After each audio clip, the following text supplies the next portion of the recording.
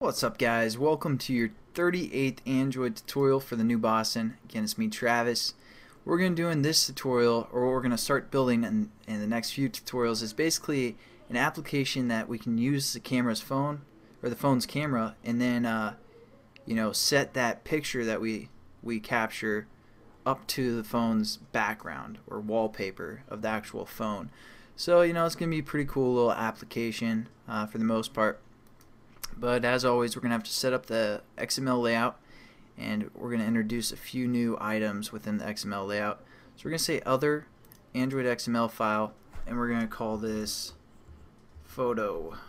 All lowercase again every time you guys make an XML or anything under a resource folder. Again lowercase. Hopefully you guys know that by now. And uh, that's crazy. XML. I don't know, for some reason when I use the screen capture my computer is super slow, but what we're going to add in this tutorial is basically we're going to add two buttons and uh, first an image view for the most part. So that's going to kind of give us where we're going to get our image back from. And it gives you a couple default items that you can set it up to start with. See, I usually don't use the drag and drop, so I was kind of wondering what this is. But we're going to start with the icon, the default image that they give us, just, you know, for, for simplicity's sake. And then uh, we're going to go in and add two buttons. One to access the phone, and uh, actually I'm trying to think what we can do that's different. You can add an image button as well. We're going to throw one of those in there and hit OK. So as you can see the image button kind of adds an image within there if you want and then uh, when you click that we're going to take a picture and then when we click this button it's going to uh, set the picture to the to the paper or to the wallpaper for the most part. So I mean nothing too new but a little bit. So let's change the width and the height of our image view to like something like 250 dp uh, for both the width and the height. Change your image button, let's say the width to um, like 125 dp wrap content and then our button will say uh,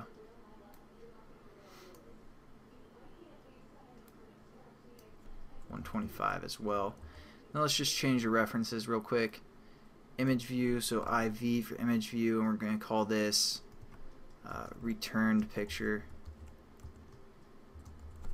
Because once our, our camera takes picture, it's going to return that picture and set it as that image view.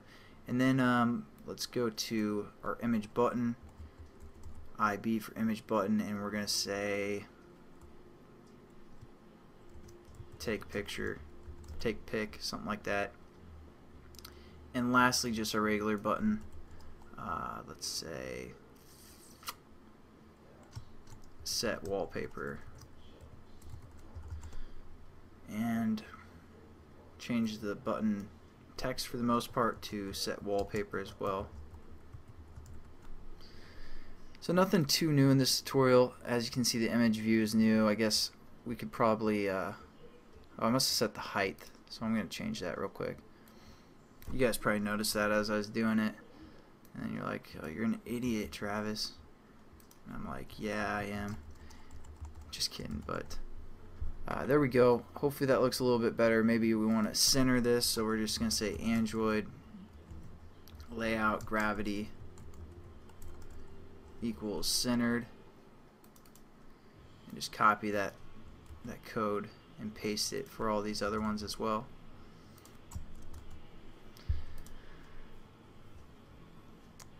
So uh, not too not too pretty there for that but you know basically that should work for the most part. Um,